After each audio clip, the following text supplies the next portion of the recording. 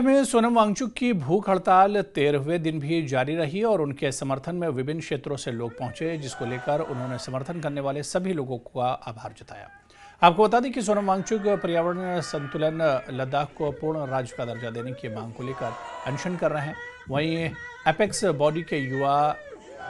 ने कहा कि भूख हड़ताल में अधिक से अधिक लोगों का भागीदारी देखने को मिल रही है। ngata jiktani kharpe gyong chanle tene thuik ama e spar sana tene daksa mas par nam sparet chenmo song sena thak pa met zerkan ji ale tene ngata ta zerchas ponok ta ngata eh, ta si tus ponok tene daksa mas na nam sodet. Tene nyambo nyambo tene nge eh, a khoik chungsek zerin samenak le ya. Eh, rung shi chungsek nga zerin samenak ju. Skot pasana shingnak china mana skit po base dene singye ta watse ta kharang mana cha chi gu dapchak se rik samshan rik kangma skit por kyak sin si khong de e shingnak pina du cho hole skut pasana jakshi jakna de shingnak pola dene mejen sawale